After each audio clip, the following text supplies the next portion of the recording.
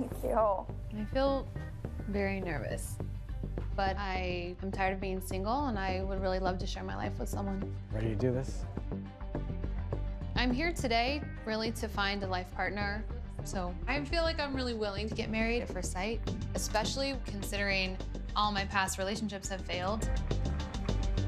I love my job, I like my lifestyle, but I'm kind of missing that component of love from a man, a spouse. Got it, buddy. At this point, it's definitely hit me. I'm in the tuxedo. I'm starting to pace a little bit because I'm nervous. I'm scared that I'm about to get married to a complete stranger at first sight, but I want this so badly. I'm willing to take the risk. I just need somebody who's as committed to it as I am and who wants it as bad as I do. And I need someone to love me. Now everything is rushing at me and I just feel overwhelmed. The anticipation and the excitement is incredible. This is a totally unknown situation and I start panicking. What am I doing? Like this could be really, really, really bad.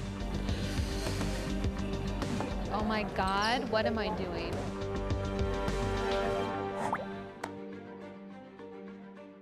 I don't feel like you're a stranger. I know, right? I never pictured getting married to a stranger. You may kiss your bride.